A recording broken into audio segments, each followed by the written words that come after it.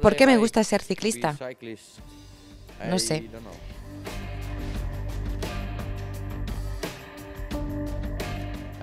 Soy el favorito para el maillot verde.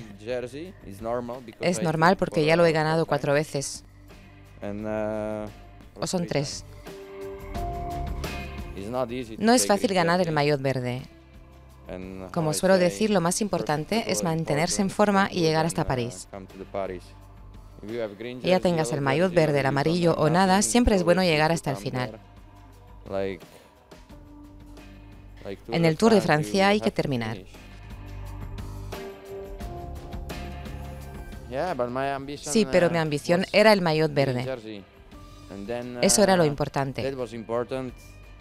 Lo logré y estaba encantado. Y después gané el maillot más importante de mi vida.